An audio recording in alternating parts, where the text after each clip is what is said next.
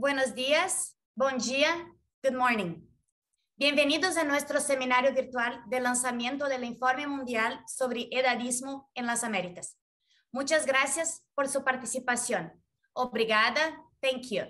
Mi nombre es Patricia Morsch, soy la asesora en envejecimiento saludable de la OPS y hoy tengo el placer de ser la moderadora de este evento que tiene como objetivo lanzar el Informe Mundial de las Naciones Unidas sobre el Edadismo, que es uno, es uno un producto clave de la campaña mundial contra el edadismo y proporciona un marco para prevenir y combatir el edadismo.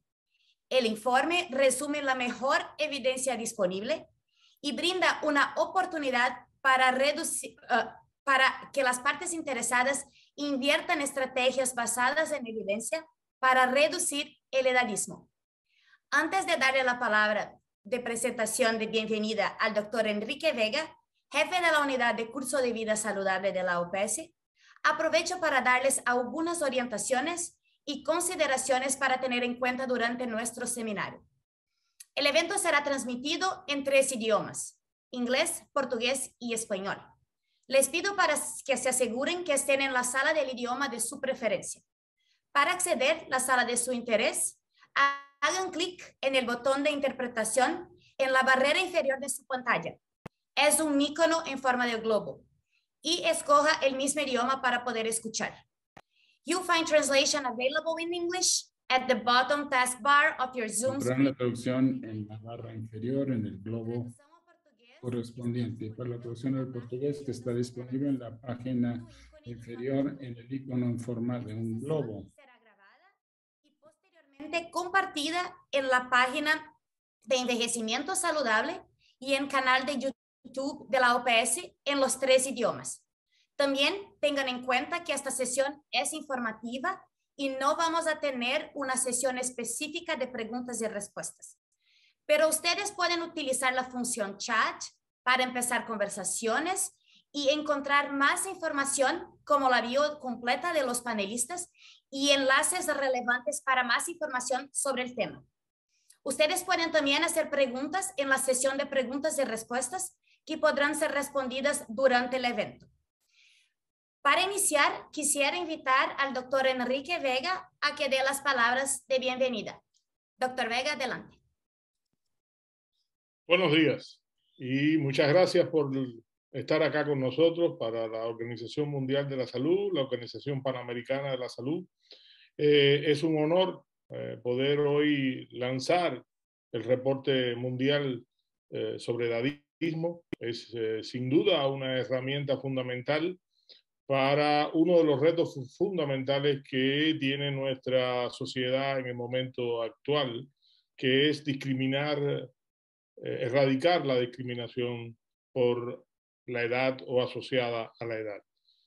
Es indudable que esta discriminación por edad está presente durante toda eh, la vida, eh, incrementa eh, su presencia con la edad, pero en ningún momento de la vida es, está libre de esta, de esta potencial discriminación. Es por ello que esa visión de curso de vida en el reporte es clara y llama a, la erradicación de esto, de, de, este, de esta lacra eh, social en cualquier momento de, de, la vida.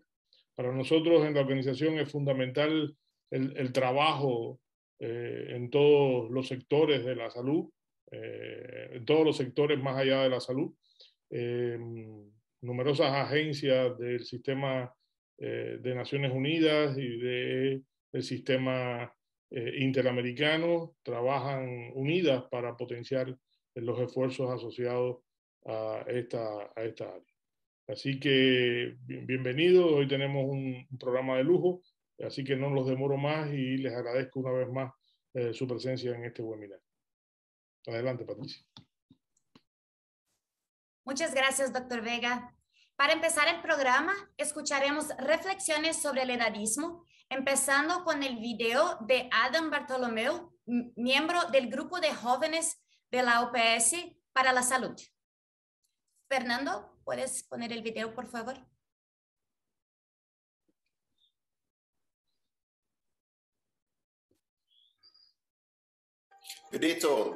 My name is Adam Bartolomeu. Hola, soy Adam Bartolomeu. Tengo 19 años y vengo de Trinidad y Tobago.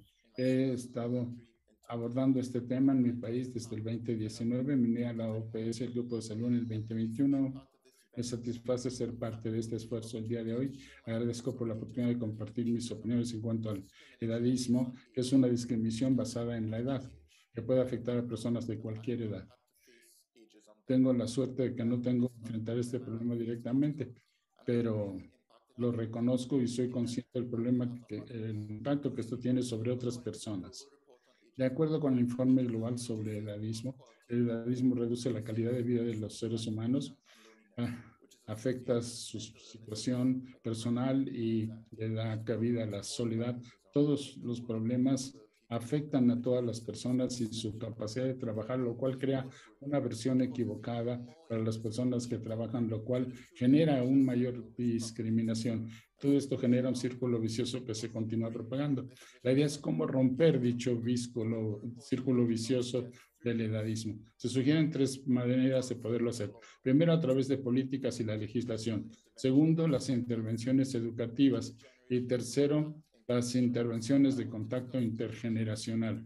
Quiero hablar de cada uno de estos con ustedes y decirles por qué son eh, pertinentes para nosotros. A nivel de la política y la ley, encontramos que estos problemas de edadismo prevalecen en nuestro país, en Trinidad y, eh, Tobago, la edad eh, obligatoria de jubilación los 60 y por lo tanto personas que tengan más de 60 años se tienen que jubilar, mientras que en otros países esta edad se ha incrementado lo cual hace que esto afecta no solo la calidad de vida de las personas, sino de toda su situación bajo el principio general. Eh, eh, por ejemplo, eso es un principio fundamental que afecta a muchas personas y la posibilidad de desarrollarnos de manera total. Eh, la jubilación a los 60 ha hecho que perdamos a nuestro líder más importante que tuvo un impacto sobre todas nuestras vidas, ya que llegó a los 60 y esto se ve afectado por personas de tan solo un grupo de edad, puede afectar a todos los demás. Este es un principio fundamental. ¿Por qué un maestro tan capaz ha tenido que dejar de trabajar afectando la ocupación debido al edadismo, el edadismo legal? El edadismo es algo que corta las alas de las personas impidiéndoles volar, algo que debe ser erradicado. Esta ley de la jubilación a los 60 se generó cuando la expectativa de vida era mucho menor y había otras ideas en cuanto a, salud eh, que eran expectativas de salud mucho menores. Tenemos ahora que ir desarrollando este esfuerzo. La legislación debe cambiarse para mostrar que todas las personas que sean capaces de trabajar puedan hacerlo. Algo que afecte no solo la vida de las personas, sino también un desarrollo sustentable en función del tamaño, el potencial, las destrezas, la productividad y la experiencia de los seres humanos. Hay un concepto equivocado que afecta a las personas y que se piensa que si permanecen más trabajando no lo van a hacer bien. Hay países donde hay altas tasas de participación, en donde el desempleo de los menores va bajando, así a medida que las personas van siendo empleadas en cargos que dan cabida a un potencial y mayor sabiduría. Queda claro entonces que todas las leyes y las políticas tendrán que cambiar. Pero para hablar de legislación y políticas hay que ver la ley de legislación de los años 60, donde se aumentó, se consideró este tema a nivel de la sociedad norteamericana, donde continúan las personas encontrando la discriminación debido al edadismo. Estas leyes tienen que cambiarse, pero no esperemos que esto pondrá coto de manera automática al edadismo. Incluso si se aumenta la edad a nivel de la legislación, personas seguirán teniendo perjuicios y eh, teniendo acciones negativas respecto a las demás debido al edadismo. Existen estereotipos y prejuicios al respecto. A esto nos lleva al segundo aspecto que es fundamental, que son las intervenciones educativas. Al hablar del edadismo, se debe ser introducido en los colegios para que los alumnos sean eh, formados en cuanto a este tema. En su educación formal tiene que haber una concienciación de utilizar todos los medios de comunicación, incluidos los medios sociales. En 2020, después de la muerte de George Floyd en los Estados Unidos, vimos que los medios sociales eh, dirigieron la atención hacia este problema y la gente del mundo entero empezó a reflexionar acerca de este tema. en varios países del mundo. También en mi país los medios sociales ah, están informando a las personas también de asesinato de mujeres jóvenes, cosa que también habla de la violencia a nivel de género. El poder de los medios sociales es fundamental y con ese gran poder es que, por lo tanto, es nuestra gran responsabilidad el utilizar aplicaciones de TikTok, Instagram, eh, Twitter y Facebook para aumentar la mentalización en cuanto al edadismo. Las personas jóvenes deben ser conscientes que el edadismo les puede afectar tanto ahora, que son jóvenes, como en el futuro, cuando sean mayores, a no ser que hagamos algo, ahora mismo para cambiar la situación. Esto dará cabida a la biodiversidad en muchas instituciones. Al promover la diversidad, no solo se aumentará el número de razas, grupos étnicos, géneros y antecedentes y transformos, sino también de edades, porque cada grupo etario tiene sus propias experiencias que le da a cada quien una experiencia singular a nivel de la toma de decisiones y en todos los niveles de la sociedad, es fundamental que tanto jóvenes como personas avanzadas sean considerados. Los empleadores deben considerar que hay muchos beneficios de emplear a personas jóvenes porque tienen más energía física y también que hay muchos beneficios de contratar personas de edad avanzada debido al gran acervo de experiencia que pueden tener. Todos somos buenos para hacer algo por eso estoy plenamente de acuerdo con una mejor manera de reducir el edadismo, si no es a través de las intervenciones de contacto intergeneracional, que es el tercer reto de este informe sobre el edadismo. Hay que informar a las personas de qué importante y qué buenos son los jóvenes. Sería importante ver sus puntos fuertes y aptitudes, tanto de jóvenes como de personas mayores, incluyendo a todas las generaciones para que colaboren y trabajen unas con otras. En el Caribe tenemos un esfuerzo en el que hay una relación muy estrecha entre los mayores y sus eh, hijos y nietos. Esto es fundamental. Se requiere de un conocimiento así que los menores adquirirán de las generaciones mayores y viceversa, teniendo así varias fuentes de conocimiento, percatándose que todos queremos trabajar haciendo uso de nuestro conocimiento para transformar la sociedad. Me parece que este tipo de estereotipos en cuanto a personas de edad avanzada deben eliminarse a través de la formación y eliminando concepciones cerradas. Espero que nunca tendré que enfrentar el edadismo y siempre poder hacer lo que me gusta. La responsabilidad de todos y cada uno de nosotros ser introspectivos en cuanto a la manera en la cual podemos dirigirnos tanto a los mayores como a los más jóvenes, eliminando el edadismo y en términos del informe mundial Crear un mundo para todas las edades. Muchísimas gracias.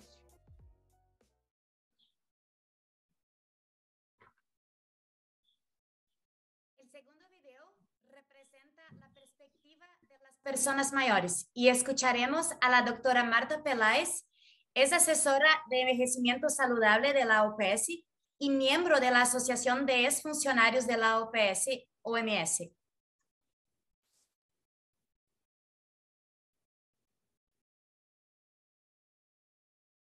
So as an older person, I want to focus on implicit age stereotypes. el tema de los estereotipos de edades y la salvaguarda y evitar los problemas del edadismo, de la discriminación explícita debido a la manera en la cual atendemos las cosas y los aspectos de políticas que se dan. Y en este seminario podrán ustedes atender y escuchar sobre este tema. Muchos estereotipos implícitos, pero eso, solo, puede, cambiar cuando cambiemos, la, actitud. Sin embargo, hemos, tenido experiencias, para cambiar, la percepción, en materia, de, salud y en materia de edad. Y, por supuesto, este edadismo es algo que, nos, afecta, mucho. Entonces, ahí, las plasmamos, nuestros propios, prejuicios y, hay muchos, estereotipos, eh, en, contra de las personas, de, edad.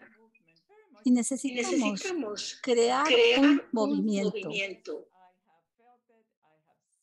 Y, yo, eh, decir, yo he, estado allá, yo he trabajado, pero las cosas no están bien. realmente, la edad, es algo muy personal. Mi madre, eh, de 90 años, escribió, esto. en una, eh, libreta.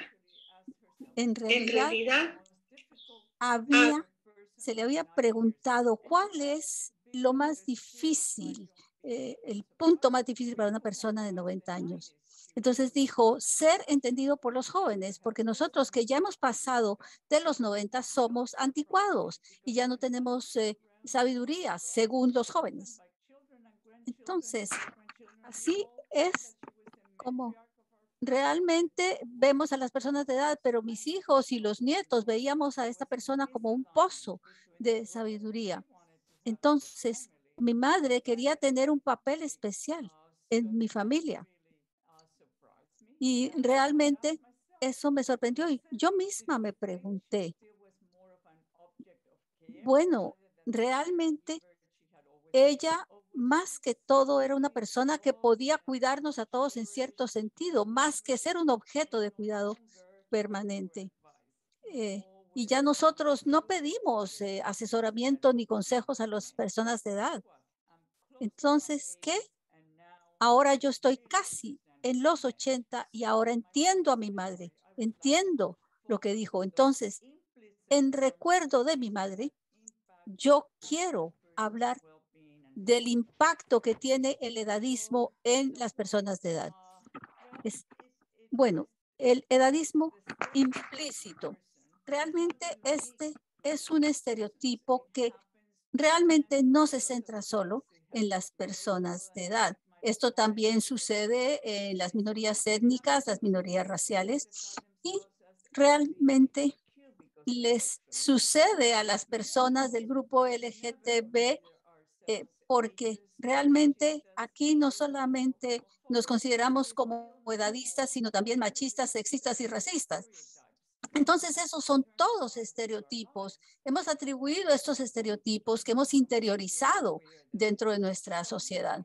Entonces, le voy a dar algunos ejemplos de lo que es esto del edadismo implícito. Por ejemplo, yo eh, ya no me siento cómoda viajando, no quiero estar lejos de casa. Eh, realmente creo que soy demasiado vieja para viajar. Entonces, bueno, yo no eh, confío en, en, mis propias habilidades para viajar sola. Entonces, estoy reconociendo eso. He aceptado yo misma este estereotipo realmente eso ayuda a disminuir el mundo de las personas de edad. Bueno, cuando la edad se convierte en la base de las percepciones en cuanto a conectividad, yo percibo a la edad como un instrumento para definir la salud, la vitalidad y la actividad de las personas. Entonces, esto también influye en la autonomía y la independencia de las personas de edad en su propia identidad, la capacidad de estar satisfechos en la vida. Las personas ya no pueden disfrutar de la vida, eh, ya no pueden tener intimidad ni tener compañía. Entonces, en realidad, yo misma estoy fomentando un edadismo implícito. ¿Cómo podemos cambiar eso? Bueno, tenemos que cambiar las actitudes, pero eso no sucede sin intervenciones que identifiquen qué es lo que necesita cambiar. Entonces a uno le dicen cuando tenga 80, ah, no, usted se ve muy bien, ni siquiera pensaría que tiene 80 años. Y puede caminar en la maratón, increíble para su edad. Bueno, yo no soy vieja, yo tengo apenas juventud acumulada eh, y realmente todavía puedo disfrutar de la vida realmente a veces la gente piensa que ser viejo es tener una terrible apariencia y que la edad avanzada significa que uno no puede tener una buena vida. Y realmente la vida no tiene edad. Y eh, considerar que la vida no tiene edad está bien, está muy bien. Mi vida tiene una edad, sí. Bueno, 85, 90, lo que sea pero realmente el edadismo implícito, la propia persona se encarga muchas veces de fomentarlo. Bueno, vamos a hacer una prueba. si la edad es instrumental para percibir eh, la vejez de una persona, ¿cómo podemos, cómo percibo yo la edad avanzada con respecto a la salud, la vitalidad, la actividad, la autonomía y la independencia, la socialización, la compañía, la intimidad, el disfrute de la vida, el goce de la vida. Entonces, hay que uno someterse a prueba uno mismo, ser franco consigo mismo, estar vigilante. La dignidad y el bienestar no tienen edad. Necesitamos un movimiento.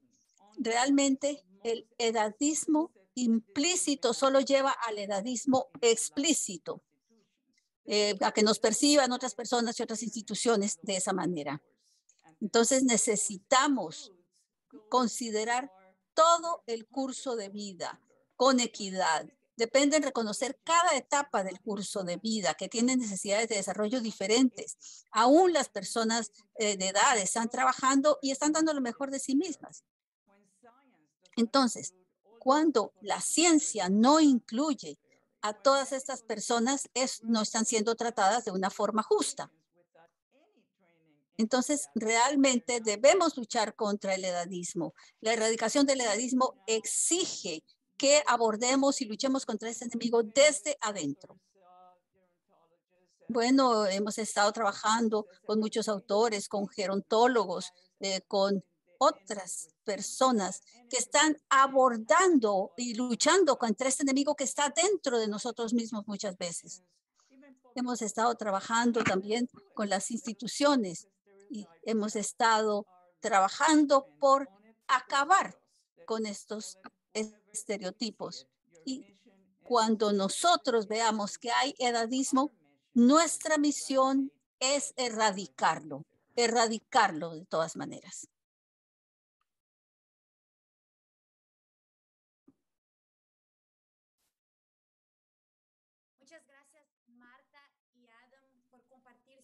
Experiencias y perspectivas con nosotros.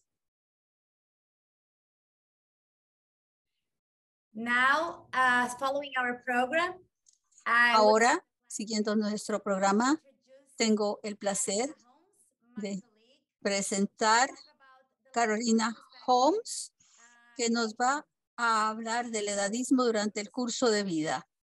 Adelante. Como lo planteó también Adam y, la doctora Peláez, es un tema extremadamente importante y de mucha relevancia hoy en día en, el mundo, ¿no? Desde el momento en que nacemos y se nos olvida mucho, muchas veces empieza nuestro momento de nuestro proceso de envejecimiento. La palabra envejecimiento no significa viejo o ser más viejo, simplemente es un proceso o un adjetivo que se refiere al tiempo que pasa, ¿no? Al efecto de ese tiempo durante nuestra existencia. El envejecer es un proceso que genera, es muy complejo, que genera trayectorias de salud muy variadas y dinámicas para todos. Cuando cada uno de nosotros tuvimos, vamos a tener y tendremos en nuestras trayectorias de vida y de salud diferentes eventos que suman o que nos quitan capacidad y que nos permiten funcionar en nuestra vida diaria. Tomamos decisiones, enfrentamos los efectos de nuestro entorno, de las políticas establecidas de los sistemas de salud. Y en este camino también somos testigos o enfrentamos estas formas que existen de discriminación y que influyen y que marcan nuestras trayectorias incluso antes de nacer y que inciden entre y a través de generaciones, como le explicó Adam muy bien en su video. Ah, perdón, aquí no me está pasando. Ya. A medida que, que envejecemos o recorremos este curso de vida, el impacto de estas diferencias y experiencias se acumulan en el tiempo lo cual va a generar resultados positivos o negativos al corto, al mediano y a largo plazo. Y en el último siglo, y gracias a los avances de la salud pública, ha sido posible esta expansión de la esperanza de vida, la cual ha tenido un avance bastante significativo en, eh, este periodo de tiempo. Ha aumentado casi 30 años en un siglo. Y aunque esta ganancia suele sumarse en los últimos años de vida, la realidad es que esta expansión ha ocurrido en todos los periodos del curso de la vida. La adolescencia hoy es más larga, empieza más temprano y termina, termina más tarde, y la adultez mayor también se ha extendido. Además, hoy la velocidad del desarrollo social y tecnológico es mucho más rápido que el curso de vida de una generación. Estamos viviendo en un mundo en constante transición. Y estas transiciones, que son no solo de carácter demográfico, sino sociales, epidemiológicas y por supuesto tecnológicas, están modelando constantemente estos escenarios en donde hoy vivimos y en donde nosotros practicamos la salud pública. Nosotros en la OPS, ah, perdón, em, hemos eh, definido el concepto de, de curso de vida como esta relación dinámica de las exposiciones previas a lo largo de la vida con los resultados en salud y los mecanismos por los cuales estas influencias positivas o negativas configuran estas trayectorias de vida humanas y el desarrollo social, lo que repercute necesariamente pues, en los resultados de salud del individuo y de la población. Y esta definición plasma muy bien todos estos cambios y estas transiciones y el efecto del tiempo en nuestras trayectorias de vida en todas sus esferas. Al hablar de salud, estamos refiriéndonos a la salud como un recurso, un recurso que se construye y que no es innato. Y el incrementar salud implica no solo proteger o minimizar estos riesgos, sino construir y mantener la salud en sí misma. Esto influye al favorecer un buen entorno para que todos los individuos a lo largo del curso de sus vidas no solo sobrevivan, sino que prosperen y puedan transformarse positivamente. Incluye poner en marcha esas estrategias y políticas en colaboración con otros sectores, integrar esta prestación de los servicios y la articulación de programas con el objetivo de mejorar la salud de las personas y de las comunidades a lo largo del curso de sus vidas. Entender el desarrollo y la pérdida de capacidad y de habilidad funcional a lo largo del curso de la vida es supremamente importante para poder definir estas prioridades e intervenciones de salud. Independientemente del momento del curso de la vida en que se encuentre la persona, es posible intervenir para aumentar, para mantener y proteger esta capacidad intrínseca de la habilidad funcional. De esta manera, las trayectorias de salud serían, serán mucho más óptimas y permitirán a los individuos y las comunidades aspirar a tener un envejecimiento saludable. Lo que se haga o se deje de hacer en la primera mitad del curso de la vida tendrá repercusiones en las trayectorias de vida más adelante.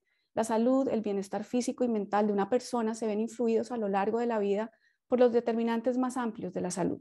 Y esta gama más amplia de los factores sociales, económicos y ambientales, junto con estos factores de riesgo conductales, a menudo se agrupan en la población y reflejan su realidad, su vida real, su cotidianidad. Esto requiere del diseño de modelos e intervenciones que vayan más allá de evitar o de prevenir la enfermedad. Y el enfoque de curso de vida resalta estos periodos críticos y sensibles de la vida, así como estas transiciones y los entornos en donde se pueden marcar grandes diferencias en la promoción o restauración y en la construcción de la salud y el bienestar. En este contexto, también estamos siendo testigos cómo esta estructura familiar y de la sociedad hoy ha cambiado. Es la primera vez que cinco generaciones conviven simultáneamente. Cada generación tiene sus propias motivaciones, toma sus propias decisiones con respecto a su salud y de una manera muy distinta, pero su influencia es muy tangible entre, entre generaciones. Y aunque la mayoría de las generaciones que hoy coexisten están familiarizadas con la tecnología, no todas las consideran como su principal fuente de información. Entonces vemos cómo dentro de estas generaciones el acceso a la información y a la forma como se adquiere la salud varía de generación en generación. Debido a estas diferencias tan marcadas, generacionales, es muy difícil para los formuladores de políticas y tomadores de decisiones utilizar un solo enfoque para todos. Entonces, si bien la demanda de atención médica de calidad y el acceso a la salud trasciende a todas las generaciones, estas características y preferencias generacionales deben tenerse en cuenta al diseñar intervenciones, comunicaciones y servicios de salud. En el, en el, informe global sobre la discriminación por edad de la OMS, la discriminación por edad se refiere a los estereotipos, cómo pensamos, a los prejuicios, cómo nos sentimos, y a la discriminación per se, cómo actuamos dirigidos hacia las personas en función de su edad se ha proporcionado una gran cantidad de evidencia de que la visión del envejecimiento, que abarca los constructos que representan estas concepciones de los individuos sobre el proceso de envejecimiento, las personas mayores y la vejez en general, así como el propio envejecimiento, empiezan temprano en el curso de la vida e influyen en el comportamiento de las personas mayores. Tanto las personas jóvenes como las personas mayores experimentan discriminación por edad pero esta discriminación toma diferentes formas a lo largo del curso de la vida. La discriminación por edad contra los adultos más jóvenes funciona principalmente como un sesgo de corte en lugar de un sesgo de periodos de vida. Esto significa que a pesar de que la juventud como periodo de vida se ve de manera digamos así, como más favorable que la etapa de vida posterior, a los adultos más jóvenes a menudo se les asignan estereotipos desfavorables debido a sus diferencias generacionales con los adultos mayores. La investigación revela también que estos estereotipos negativos asociados con los adultos jóvenes incluyen eh, la noción, por ejemplo, de que son muy mimados, que son muy progresistas o inexpertos y que en muchos casos no pueden cuidarse a sí mismos. Es más probable que estos estereotipos desfavorables contra los adultos más jóvenes los, eh, los tengan quienes son mayores. Y estos sesgos podrían generar problemas de inestabilidad económica en las generaciones más jóvenes, lo que podría afectar a las generaciones futuras a medida que nuestros adultos jóvenes crecen. Otros ejemplos son las leyes y políticas que no toman en cuenta la madurez emergente de los adolescentes y que refuerzan esta estigmatización. Y algunos de estos temas ya conllevan una estigmatización más general, como la salud sexual y la reproductiva, así como la salud mental. Ser joven a menudo significa tener que superar obstáculos, estereotipos y prejuicios que pueden dificultar el camino de una persona joven hacia la autonomía. A medida que nos convertimos en una sociedad mucho más longeva, es importante comprender cómo funcionan estos estereotipos y los prejuicios contra los grupos de edad, tanto en grupos más jóvenes como en los mayores, los cuales conducen a fracturas en las relaciones intergeneracionales. Y en este contexto multigeneracional en el que vivimos, y en una sociedad cuya estructura es compleja y con visiones tan distintas, es indispensable ser consciente de estas diferentes formas de discriminación, que incluyen también la discriminación de género, raza y edad, que es el tema que nos, que nos eh, reúne hoy. Esta última puede surgir en cualquier momento en el curso de la vida de una persona, ya sea durante su niñez, su juventud o su adultez. Pero lamentablemente la discriminación por edad es erróneamente más tolerada en nuestras sociedades que otras formas de discriminación. Es muy frecuente y sus consecuencias pueden ser muy graves. El grupo demográfico que a menudo viene a la mente y el que suele ser el centro de estos debates son las personas mayores. Sin embargo, si bien es indudable que se enfrentan a obstáculos cotidianos en una sociedad y en un mercado laboral en constante evolución, la discriminación por edad es un fenómeno que abarca todo el curso de la vida. Estas percepciones tendrán una influencia a lo largo de la vida, al afectar la forma en que las personas más jóvenes se comportan con las personas mayores y viceversa, y también al convertirse en modelos para el propio proceso de envejecimiento, lo que en última instancia va a influir en la salud y el bienestar más tarde en el curso de la vida. Me pareció interesante poder compartir con ustedes este estudio realizado sobre los estereotipos relacionados con la vejez en los niños en edad preescolar. A los niños que participaron se les pidió que citaran las primeras cinco palabras que se les venía a la mente al pensar en una persona mayor. En este estudio, el color de cada palabra representa su valor. Entonces, el rojo indica palabras negativas, el verde indica palabras positivas y el azul indica palabras neutras. Y el tamaño de cada palabra se correlaciona con su frecuencia, es decir, cuanto más se cita una palabra, mayor es su tamaño. En la nube que representa las respuestas de los niños, elderly o la palabra viejo es la palabra más citada, seguida de la palabra abuela y posteriormente de la palabra abuelo. Para la nube de los padres, como se puede ver en la diapositiva, la palabra más frecuente dada por ellos fue soledad, hogar de ancianos y enfermedad. Según el estudio, las palabras más frecuentes dadas por los padres diferían de las de los hijos, pero incluían algunas positivas como experiencia, abuelos y sabiduría. Y de las, de las 614 palabras citadas por los padres, ellos proporcionaron palabras positivas en el 47% de los casos y las palabras negativas en el 42%. El porcentaje de palabras positivas reflejaba el resultado de los niños en el 47%, pero el porcentaje de palabras negativas fue ligeramente superior al resultado de los niños, el cual arrojó un 32%. Quería compartir este estudio porque es importante resaltar que las opiniones sobre el envejecimiento, así como las autopercepciones del envejecimiento y los estereotipos de la edad, continúan desarrollándose a lo largo del curso de la vida.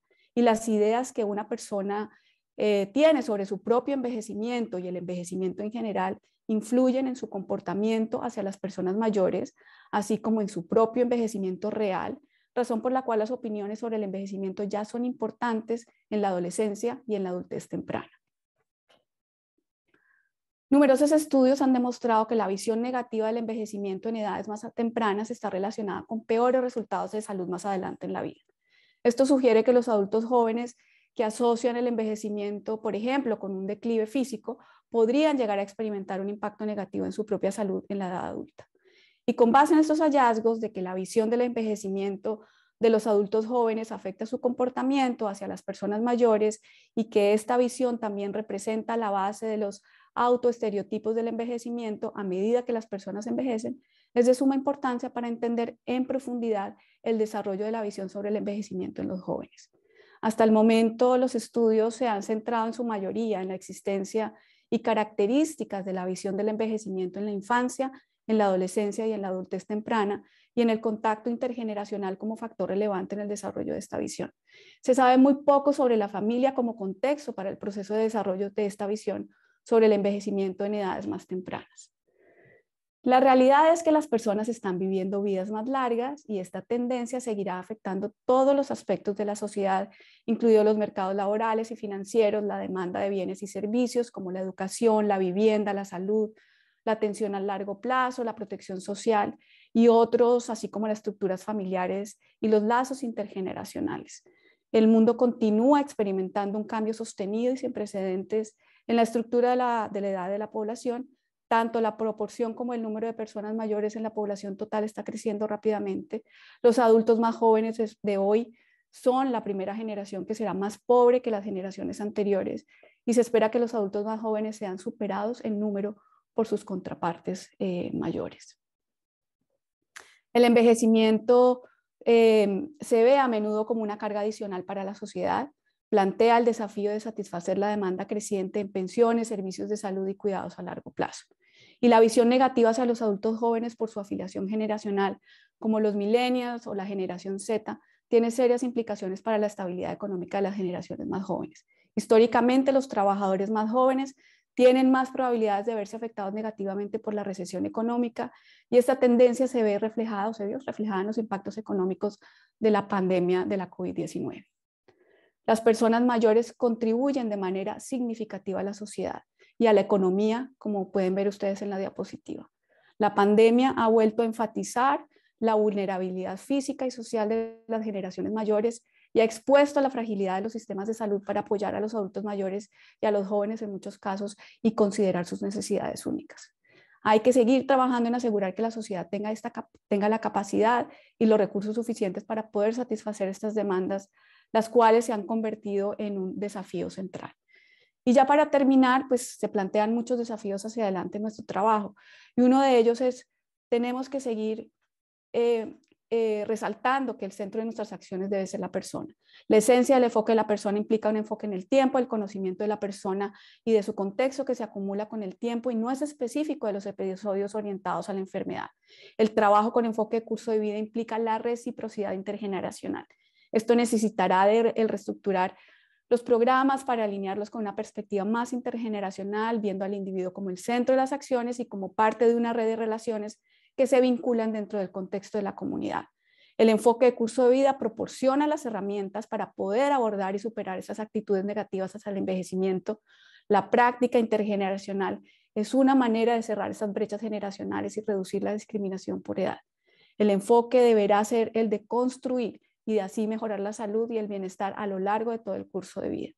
El enfoque de curso de vida plantea una nueva visión de la salud. Se debe cambiar la manera como vemos la salud. La salud es un recurso, un recurso que no es innato, es una capacidad que se construye. Este concepto de salud debe ser tangible y por eso se debe poder medir. Entonces será necesario establecer indicadores que nos permitan medir esta generación de capacidad. Y la perspectiva de curso de vida nos permitirá comprender mejor también cómo se perpetúan estas desigualdades y se transmiten eh, y abordar estas inequidades a lo largo de la vida y cómo pueden mitigarse o aliviarse entre y a través de las generaciones. Eh, las intervenciones de salud también deberán ir más allá de la enfermedad y deberán tener un enfoque longitudinal con un enfoque también multisectorial e integrar los servicios de salud. Y por último, y muy importante, las políticas y la legislación deberán proteger a las personas contra, contra la discriminación por edad y favorecer la igualdad de los derechos para todos. Gracias, Patricia. Muchas gracias, Carolina, por tu excelente presentación que abre el espacio para entender un poco mejor los impactos del edadismo ah, a lo largo del curso de vida y empezar la conversación sobre la importancia de tener el reporte y la campaña para combatir el edadismo. So to present the report and the campaign, Para presentar el now I have the pleasure ahora to introduce Alana Officer, de presentar the unit head of the demographic change Alana, and healthy uh, aging officer, of the WHO. en Alana, en, the eh, floor is yours. OMS. Alana, tiene usted el uso de la palabra. Adelante. Thank you Muchas gracias, Patricia. It is such an incredible pleasure to be eh, una enorme satisfacción encontrarme aquí con ustedes. Vamos a reflexionar y quizá usted pueda escribir algo en el chat. Eh, ya varios de ustedes han hablado de las experiencias en cuanto al edadismo y me interesaría en esta sala y en línea saber si alguno de ustedes ha sentido, se les ha dicho que son demasiado jóvenes o demasiado viejos en todo caso para hacer alguna cosa. Les pregunto si han experimentado el edadismo ustedes mismos. Hemos escuchado decir que esta es una de las primeras características junto con el género y la raza y tendemos a ver que esto afecta cómo interactúan las personas. También es uno de los aspectos primordiales en los que podemos categorizar a las personas. El edadismo, de acuerdo con el informe mundial, es cómo pensamos nosotros, o sea, los estereotipos, cómo sentimos, o sea, el prejuicio, y cómo actuamos, que es la discriminación respecto a los demás y respecto a nosotros mismos con base en la edad. Sabemos que esto se inicia en un momento muy temprano y se va viendo forzado por los tiempos. Los niños y los jóvenes de hasta cuatro años son conscientes de los estereotipos etarios de su sociedad y van teniendo prejuicios contra eso. Eh, en fin, vemos que ven la televisión, lo reciben a través de los medios y también a través a veces de comentarios familiares. Como hemos escuchado decir, estos estereotipos se van internalizando y se van utilizando para guiar nuestros comportamientos y sentimientos de personas de diversas edades, pero también respecto a nosotros mismos. El edadismo es algo que afecta a las personas de todas las edades, repito. Y también es algo que existe prácticamente en todos los aspectos de nuestras vidas. Esto es en nuestras instituciones, en nuestras relaciones y por supuesto en nosotros mismos. Como hemos escuchado decir, tiende a asumir diferentes patrones, diferentes modalidades a través del curso de vida. Por ejemplo, pensar en las personas jóvenes eh, y el estereotipo que puede existir respecto a los mismos. El sentirse temeroso cuando vemos a un grupo de personas jóvenes es un prejuicio, sin duda. Les daré dos ejemplos, por lo tanto. Por ejemplo, eh, hay muchas personas o jóvenes a quienes les niegan un empleo, eh, ya que se le, esto se considera como una discriminación basada en la edad. Y la pandemia eh, ha expuesto el tema del edadismo y cómo es que la diversidad afecta a nuestra sociedad. La edad cronológica se ha utilizado en diversos criterios en varios países. El no contar en las personas, si no se desagrega su situación día con día y tenemos muchos ejemplos así pues de esta discriminación debido al edadismo. El utilizar la edad cronológica como el único criterio para la asignación de recursos, incluidos los ventiladores, por ejemplo, o las unidades de cuidados intensivos, son un ejemplo precisamente de esta circunstancia. Sabemos que la edad sin duda es algo importante si hay una menor probabilidad de supervivencia con una edad mayor, pero la edad no debe ser el único criterio. La fragilidad, la condición fundicial y la, la opción de beneficiarse son todas estas características y criterios personales de cada individuo. El edadismo, por lo tanto, no tiene cabida en esta situación.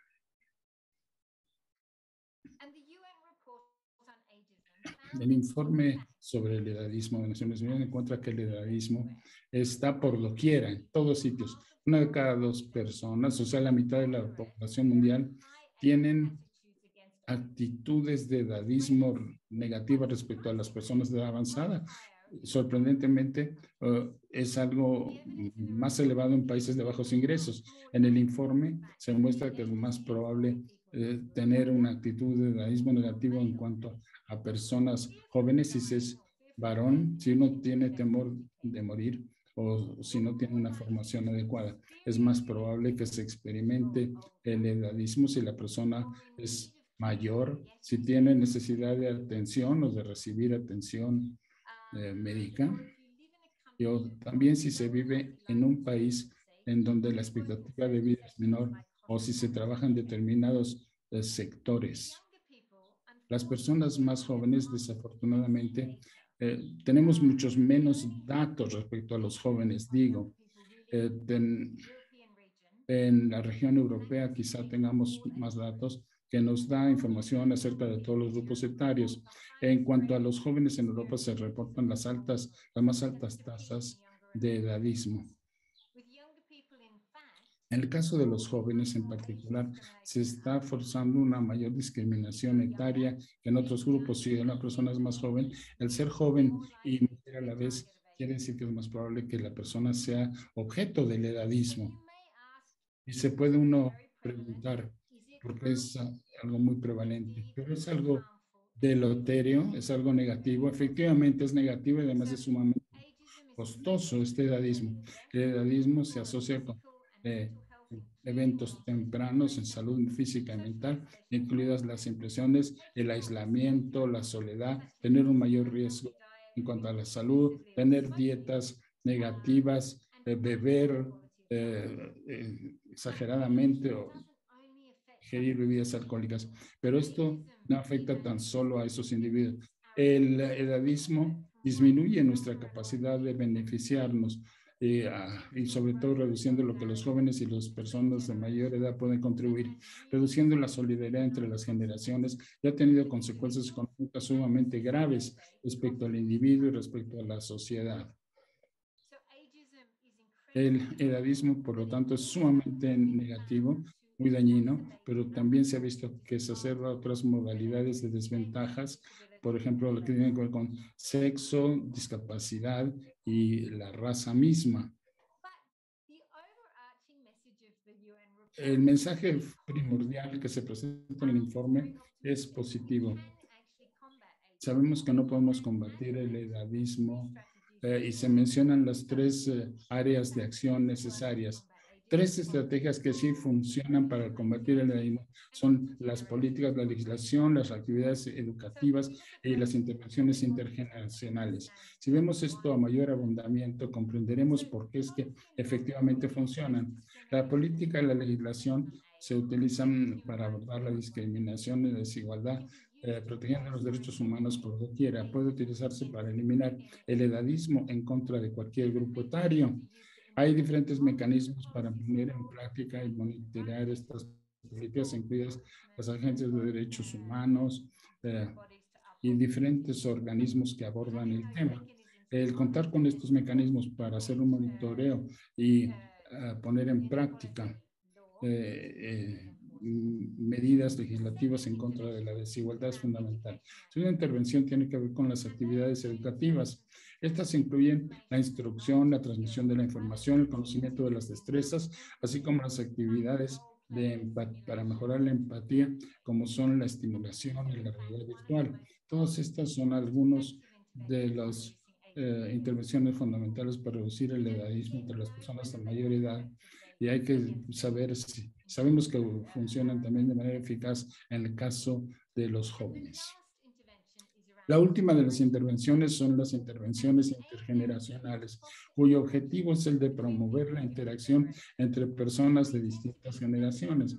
Y esto tiende a ser eficaz para reducir las brechas sobre edadismo entre las personas de edad más avanzada. Son promovedoras también para reducir la discriminación de los jóvenes. También es importante que los países puedan poner en práctica estas tres estrategias simultáneamente.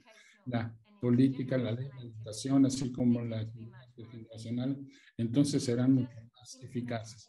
E incluso el poner tan solo las intervenciones a nivel intergeneracional va a tener sin duda un efecto mucho mayor. Los informes nos indica que hay un camino a seguir y que todos podemos y debemos hacer algo efectivamente para combatir el edadismo. Es necesario que pongamos en práctica y tener una escala de los tres estrategias de acción que se destacan en el informe y que abordan precisamente la prevención respecto al edadismo. Tenemos que contar con datos e investigación para comprender mejor cómo reducir el edadismo, eh, especialmente en el caso, desde luego, de los jóvenes, pero por supuesto, más aún de las personas de avanzada. Hay que cambiar la narrativa para tener lo que será una narrativa mucho más positiva. Sabemos que las culturas son muy fluidas, veamos la manera en la que la mujer ha experimentado esto durante los últimos decenios. El edadismo afecta pues a todos y cada uno de nosotros, eh, por lo que quiera. Es increíblemente deleterio, tiene un impacto sumamente grave sobre nuestra salud, bienestar y nuestra economía, sin duda. Puede ser combatido, pues, como se ha dicho, y todos tenemos un papel que desempeñar para eliminar e impugnar este problema y saber lo que tenemos que hacer como partes interesadas.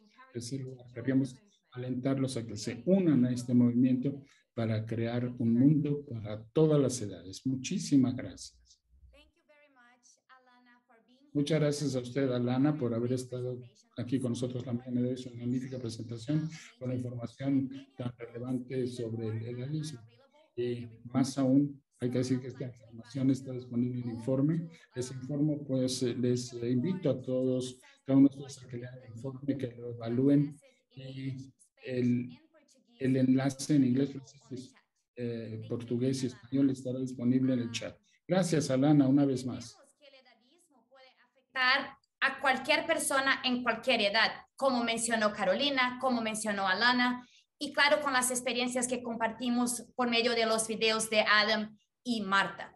Pero queremos llamar la atención hoy sobre el edadismo hacia las personas mayores y hacer un llamado a la acción para mover este tema en el marco de la década del envejecimiento saludable.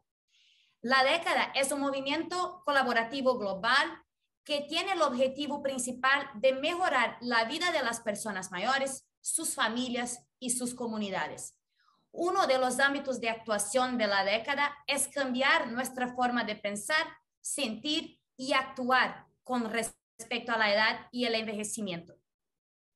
Porque a pesar de las numerosas contribuciones que realizan las personas mayores a la sociedad, y de su gran diversidad, las actitudes negativas hacia ellas son comunes en todas las sociedades. Raras veces se ponen en cuestión ah, y son muy prejudiciales a la salud y el bienestar de las personas mayores, como vimos en las, eh, en las presentaciones anteriores. La lucha contra los estereotipos negativos, los prejuicios y la discriminación debe ser una parte integral de todas las acciones desarrolladas durante la década, al mismo tiempo que se deben llevar a cabo otras actividades para propiciar una comprensión más positiva y realista de la edad y el envejecimiento y sociedades capaces de integrar a todas las edades. Ah, vimos muchos comentarios en el chat sobre eso, de la importancia de la integración intergeneracional Ah, de la visión positiva de la edad y el envejecimiento. Entonces, en seguimiento a nuestro seminario, escucharemos presentaciones sobre las tres estrategias presentadas en, el reporte para combatir el edadismo que mencionó Adam y que mencionó, ah, que presentó Alana. Para empezar, paso la palabra a la señora Flor Murillo del Ministerio de Salud de Costa Rica para que pueda presentar la experiencia del país en el tema de políticas y leyes con enfoque en las personas mayores. Flor. Aquí estoy. Muchas gracias, Patricia. Buenos días a todos y a todas. Un gusto estar este día con ustedes.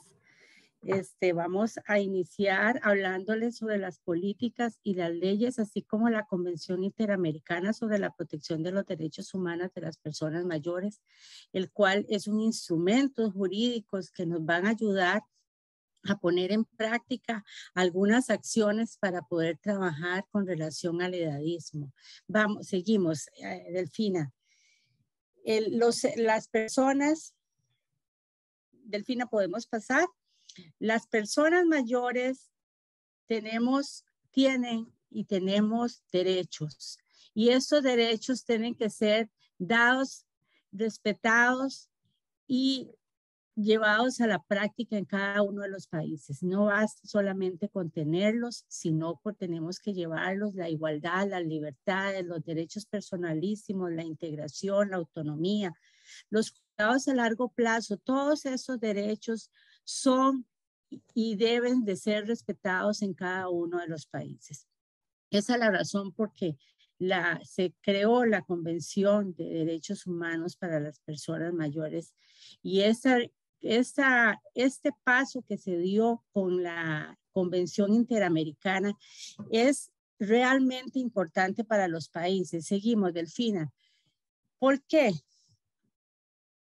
Porque tenemos derechos, como les decía, que son derechos humanos y en Costa Rica surgieron desde el marco constitucional y legal y que se ha ido creando tanto con la legislación, con el marco jurídico, así como con la Convención Interamericana que fue creada en el 2016 y en Costa Rica se ratificó en el 2017.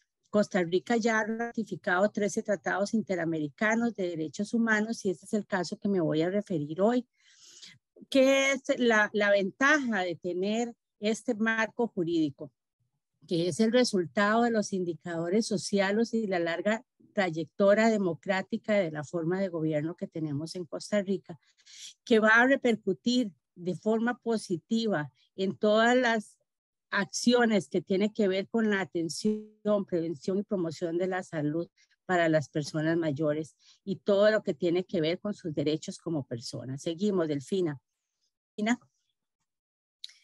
Costa Rica ha creado un marco legal y este marco legal lo vamos a ver reflejado, como acabamos de ver ahora, desde el curso de vida. La importancia es que el curso de vida no solo tenemos que verlo como una forma de trabajar y de ir llevando a cabo las acciones y desarrollándolo tanto para prevenir como para trabajar, sino también la legislación debe estar enfocada desde el curso de vida. Costa Rica tiene un marco robusto, como podemos ver en la pantalla, pero una de las leyes más importantes que tenemos es la ley integral para la persona adulta mayor, esta ley nos dice, habla sobre la igualdad de oportunidades y la vida digna de las personas, la participación activa en la formulación de las políticas, en la permanencia de las personas en su núcleo familiar y comunitario, en las formas de organización y participación para todos y cada uno de ellos, impulsar la atención integral e institucional, que ahorita la vamos a ver más adelante,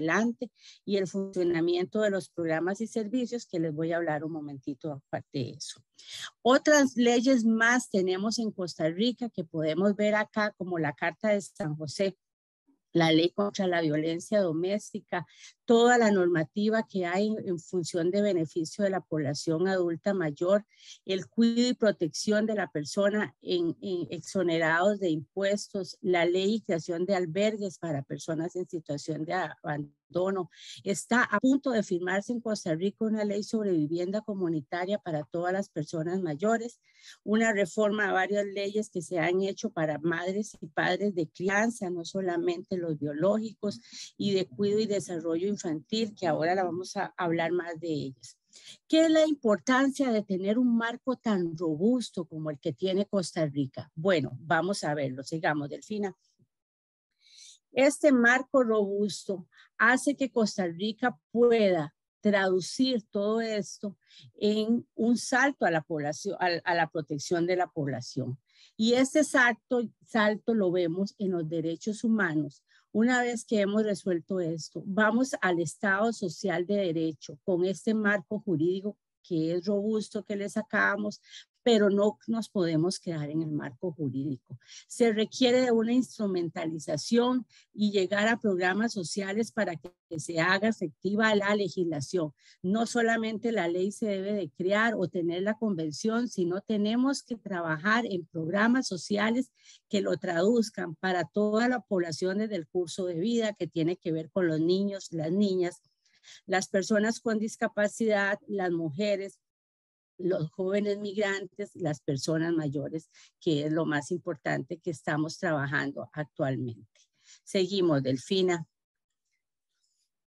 Este, estos, estas leyes se deben de convertir, como les decía, en programas sociales, pero los programas sociales requieren dinero, financiamiento, y para eso entonces Costa Rica ha hecho algunos programas por medio de leyes y estas leyes tienen que ver con el régimen no contributivo de las pensiones para las personas, otra para las mujeres del Instituto Nacional de las Mujeres, los servicios de salud y algo muy importante es el porcentaje de dinero que se le da al Consejo Nacional para la Persona Adulta Mayor que está destinado a cuido. Voy a explicarles cuál es este programa tan importante de cuido. Seguimos, Delfina.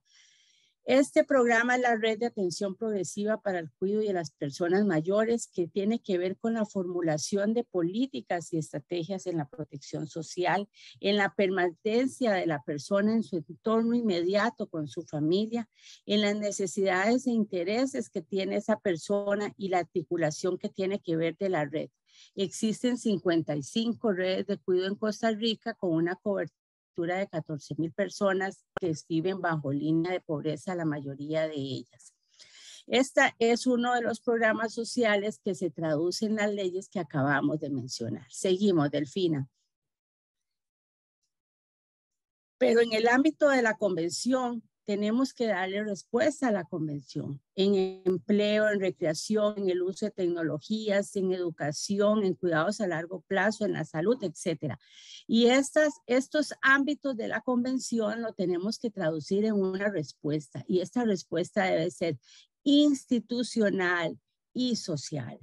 Y tiene que haber participación a nivel local, regional y nacional.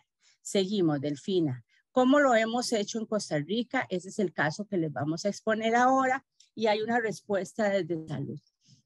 Esta respuesta de salud tiene que ver con la atención integral en salud en los programas de promoción, prevención y curación y rehabilitación. Otro en el tema que les hablaba del núcleo familiar y comunitario, las medidas de apoyo para la dependencia funcional, que hay mucho trabajo por delante en este tema, muchísimo para lo que tiene que ver la dependencia, que se está trabajando actualmente en un sistema nacional de cuidados y la creación de servicios de geriatría.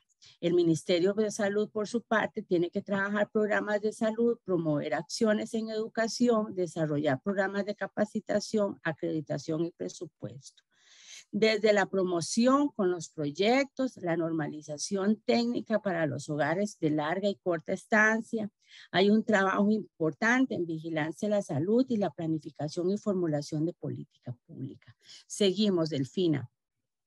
Por otro lado, esto tiene que ver en la respuesta de salud con una red de servicios de salud que está en todo el país, en cinco regiones, con, el cual tiene 1043 EVAIS, que son los equipos básicos de salud en cada una de las comunidades, dos hospitales nacionales, siete hospitales periféricos, seis hospitales especializados, 63 clínicas de primer nivel y seis clínicas de segundo nivel. Esta es la respuesta en salud que se da en Costa Rica. Seguimos, Delfina. Por otro lado, hay para las personas mayores un Hospital Nacional de Geriatría y Gerontología Raúl Blanco Cervantes. Existe desde 1976 con una labor magnífica, un trabajo de profesionales realmente que se destacan con ellos trabajan procesos de educación además y de fortalecimiento de la atención especializada en geriatría. Es un centro especializado para la atención de personas mayores. Tiene una atención aproximada a 300 mil personas con una formación de especialistas en geriatría. Por otro lado, la Caja Costarricense del Seguro Social, que es la reguladora de todos los servicios de salud creó una política importantísima denominada política institucional para la atención integral de la persona adulta mayor, que encierra una serie de, propuestas que hace el trabajo para todos los niveles de atención, desde el nivel primario, secundario y así siguiendo en una forma integral y desde la Red Nacional de Servicios de Salud. Seguimos, Delfina. En cuanto a la respuesta que también se da está el Consejo Nacional para la Persona Adulta Mayor, es el CONAPAN. Actualmente hay cambio en la presidencia ejecutiva. El nuevo director es el doctor este, Román, Norbert Román, que es un neurólogo y que ha trabajado, tiene gran experiencia en todo lo relacionado con este Alzheimer y otras demencias. Seguimos, Delfina. En cuanto a la respuesta en los centros de atención, ese es el acceso que hay para los hogares sustitutos y alternativas de cuidado para las personas que deben de ser cuidadas y atendidas en el núcleo de su familia. Estas son de carácter privado que se administran con fondos públicos. La mayoría en la atención, como podemos ver, son mujeres las que asisten y tenemos 93 hogares de larga estancia y 66 centros diurnos en Costa Rica para aquellas personas que lo requieren por diferentes razones que se, se haya tenido que trabajar, que en el hogar no puede haber permanencia en el hogar de ellos en cuanto al cuidado y una respuesta para el cuidado. Seguimos, Delfina. En cuanto a vivienda, algo muy importante es que esta está dirigida a aquellas familias, aquellas personas mayores que no cuentan con familiares con los cuales puedan constituir un núcleo familiar o que teniendo ninguno de ellos conviva con la persona mayor, tiene que ver con personas independientes y que puedan vivir solas. Estas tienen tasas preferenciales de intereses para préstamos o si son viven bajo línea de pobreza, el Estado se las otorga. Seguimos. Hay una respuesta en cuanto a beneficios, eso, eso es una serie de beneficios que la ley le da, que tiene que ver con la, gratuidad en el transporte público, tanto a nivel colectivo como este marítimo y aéreo, con entradas a eventos de entretenimiento, con hospedajes en hoteles, con los descuentos en los consultorios, los hospitales y las clínicas, con los medicamentos, con prótesis y órtesis, con ayudas técnicas y con las tasas para vivienda, como les estaba diciendo.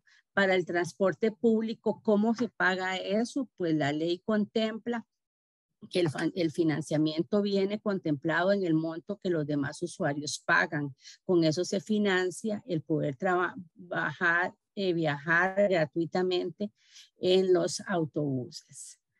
Seguimos, Delfina. Hay una respuesta que tiene que ver con empleo y educación.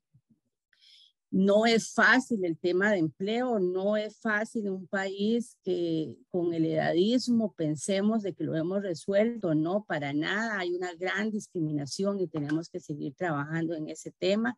Y también hay una respuesta, sí, en educación, que sí se da con programas especializados, con la modificación de, de con programas culturales, hay acceso a carreras universitarias universitarias, facilidades en estudio y hay una igualdad de oportunidades para los de más desventaja social y más pobres con el Instituto Mixto de Ayuda Social. Sin embargo, con el tema del empleo sigue siendo discriminatorio y no solamente para los mayores de 65 años, para desde los 40 años ya es un proceso discriminatorio en empleo. Seguimos.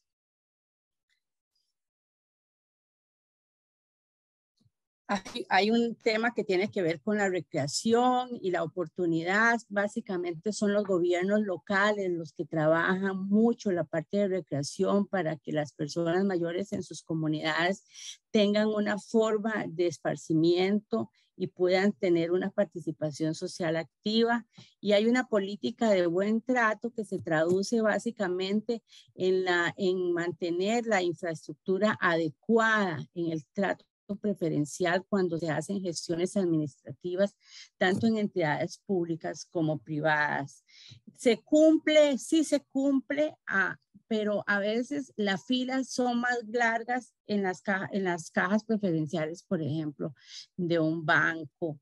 Entonces, es más importante el buen trato, la forma en que a las personas les están haciendo sentirse que son importantes en los servicios que se otorgan. Seguimos, Delfina. Hay una serie de comisiones, una de las más importantes que tenemos es la, la Comisión Nacional de Envejecimiento y Salud.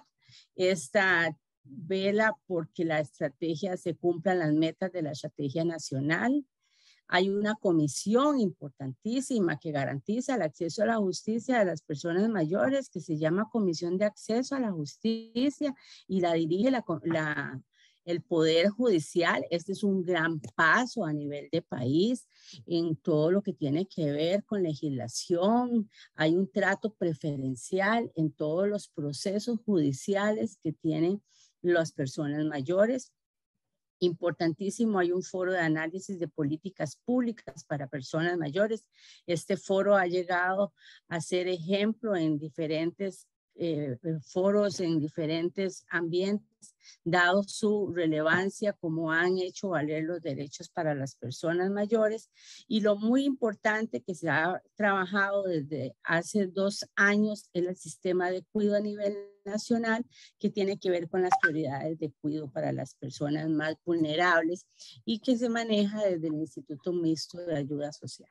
Hola, y para, Ah, perdón molestarla e interrumpirla. Solamente quiere decir que tiene un minuto para que podamos continuar. Solo falta esta. Y el minuto les cuento que la respuesta en la emergencia tuvo que ver con la vacunación, con todo lo que fue el abordaje sociosanitario para poder atender a las personas mayores y los lineamientos que se crearon. Entonces, también hubo una respuesta que tiene que ver con los derechos y que tiene que ver con toda la legislación que les acabo de mencionar. Eso sería todo de mi parte. Muchas gracias, Patricia. Muchas gracias, Delfina, por ayudarme con la presentación y buenos días. Muchas, muchas gracias, Flor, por tu presentación. Ahora paso a palabra al doctor Daniel Schuch de la Universidad. Ahora le cedo la palabra al doctor eh, Daniel Schuch de la Universidad Católica de Pelotas para hablar de estos eh, puntos eh, sobre las personas de edad. Muchas gracias, Patricia. Muy buen día a todos. Y quisiera felicitar a todos los colegas que me han precedido en la presentación por sus excelentes ponencias.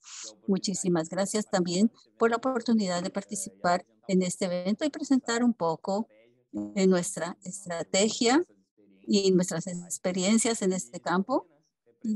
aquí estoy en representación de nuestro equipo, el Núcleo de Salud de la Universidad Católica de Pelotas. Quisiera también felicitar a todos mis colegas por su trabajo y por representar a nuestro equipo.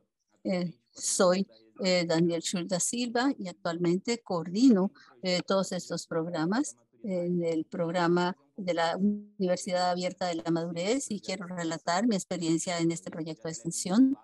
Eh, estamos estado eh, vinculados con varios eh, centros de salud. Entonces, inicialmente vamos a hacer una breve presentación de la Universidad Católica de Pelotes, que está situada en el, estado, en el sur del estado de Río Grande do Sul. Y es una institución de carácter comunitario que tiene más de 60 años de historia tiene iniciativas educativas de carácter social y estas instituciones universitarias y comunitarias como la Universidad Católica eh, tienen por objetivo la educación y los servicios sociales que contribuyen a mejorar la calidad de vida de la sociedad donde operan. Y les voy a presentar a nosotros el Centro de Extensión en Atención a la Tercera Edad, que es el CETRES, que se creó en 1990 y hace parte de la estructura de la universidad y es un centro que contribuye a la transformación de la realidad de las personas de edad y el reconocimiento de su papel como ciudadanos. Y aquí tenemos dos eh, fotos eh, que son los eventos que promueve el propio Centro C3. Están aquí en un baile, en otro es un bazar y esta es la venta de productos elaborados en la comunidad. Aquí trabajamos con los integrantes del Centro CETRES y eh, consolidamos esto de una manera dinámica eh, para su funcionamiento, estructura y acciones prácticas de importancia significativa y reconocimiento social. El C3 es un centro promotor de cultura, ciudadanía y salud y contribuye así al bienestar integral de sus participantes. Se realizan dentro de nuestros temas talleres, grupos, eh, rondas de conversación, eventos culturales y artísticos, bazares, ponencias, con la participación de nuestros integrantes y esta foto de arriba es un evento eh, de danzas gitanas en que nuestro grupo participó y abajo tenemos acá eh, la feria del dulce eh, aquí en Pelotas. Estas son unas actividades que estos grupos del C3 han organizado y en los cuales participan. Aquí tenemos varios bazares, ponencias, etcétera, que están destinadas a este público. Nuestra estructura física es tal que tenemos un edificio, un edificio que está junto al Instituto para los Menores, ahí en la ciudad de Pelotas. En la misma estructura física y en el mismo edificio tenemos a los menores y a los adultos de edad avanzada, tratando de estimular así la interacción entre ambos grupos. Eh, C3 se reestructuró en fecha reciente y les hablaré de eso en breve. Desde ese entonces hemos tratado de llevar a cabo actividades integrales eh, y la propuesta que tenemos ante nosotros es la de contar con una mayor acción entre las generaciones más jóvenes y las mayores.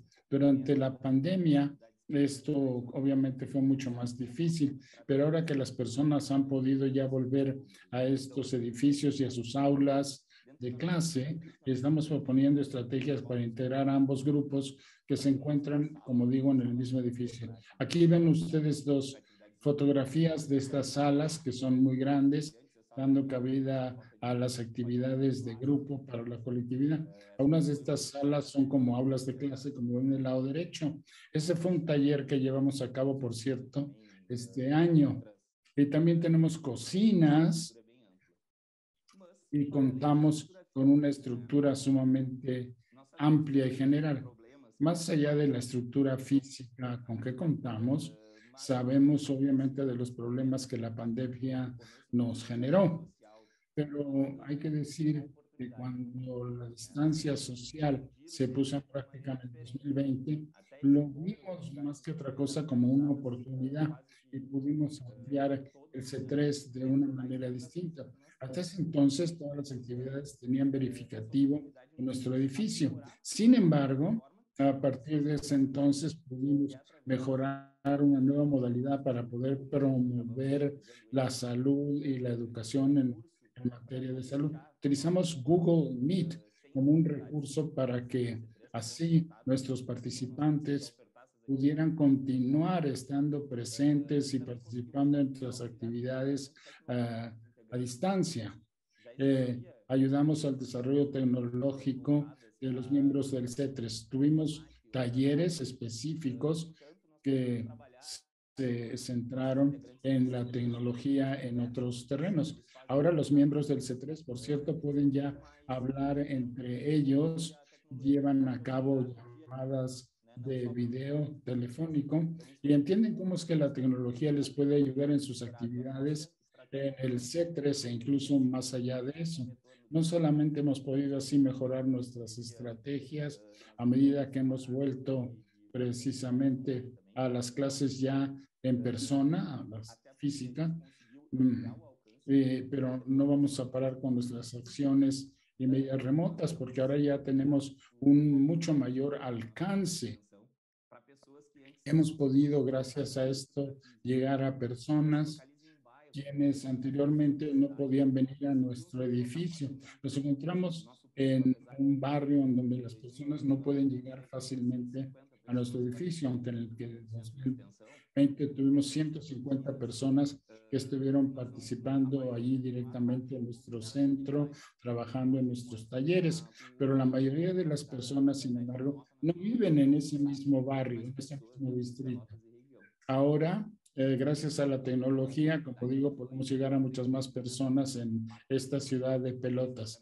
La actividad fue sumamente importante para reducir así el impacto del distanciamiento social en el 2020 y como ya dije antes, la C3 existe desde 1990, pero recientemente en 2020 nos reestructuramos y la reestructuración ha tenido que ver con todo precisamente de lo que estamos hablando aquí el día de hoy. Mi objetivo fue el de ampliar, como digo, el papel del C3 a nivel de la comunidad, contando con cursos universitarios. Deseábamos alcanzar y ampliar así la interacción existente entre distintas personas, distintas generaciones y diferentes momentos educativos.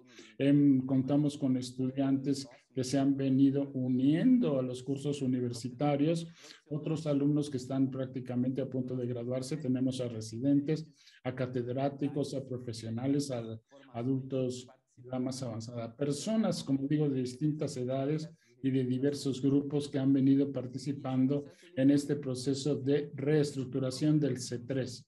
Este es un proceso que se ha desarrollado gracias a un programa de extensión que incluye cuatro proyectos.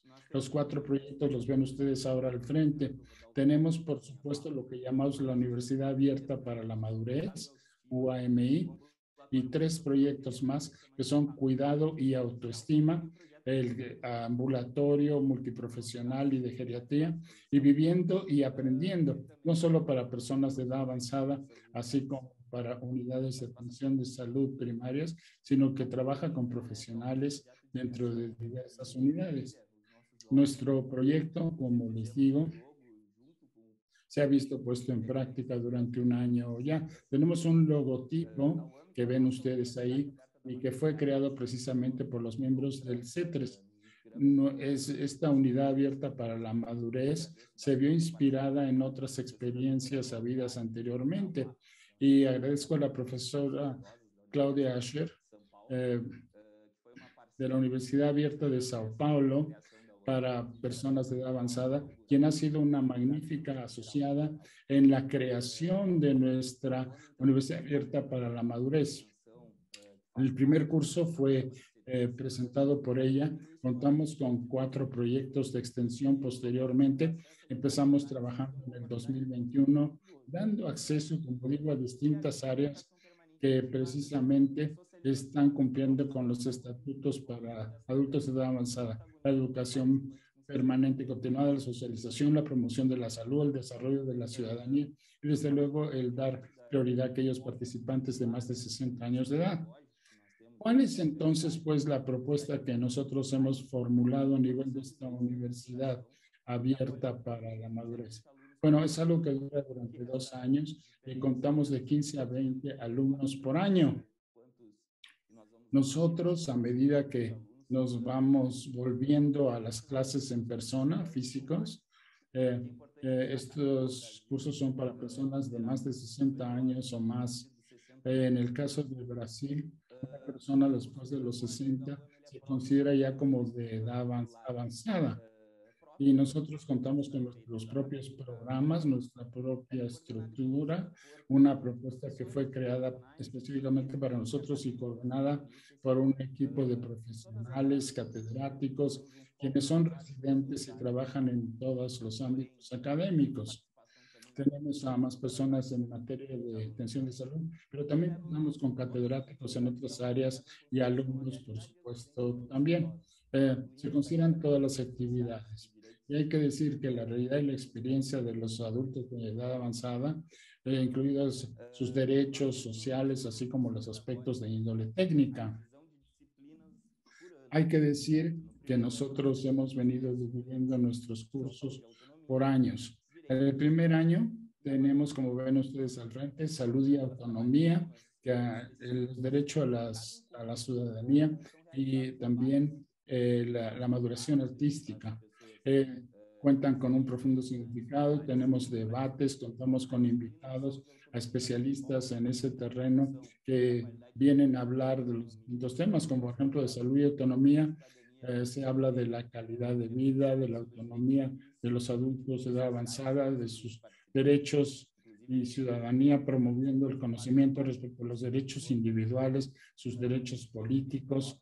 Algunos de nuestros participantes forman parte integrante del Consejo para los Adultos de Edad Avanzada en Pelotas.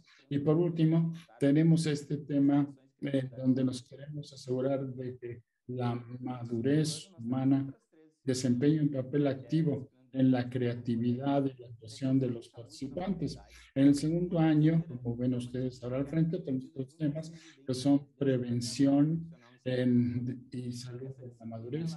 También otro tema que fuera desarrollado por parte de los residentes, cuyo objetivo es el de integrar precisamente al C3 con lo que viene aconteciendo a nivel de nuestras unidades de cuidados de salud básica. Se ha creado pues así ya toda una propuesta a partir de los diálogos que hemos venido entablando con nuestros distintos grupos, con estrategias para poder laborar así en las diversas comunidades.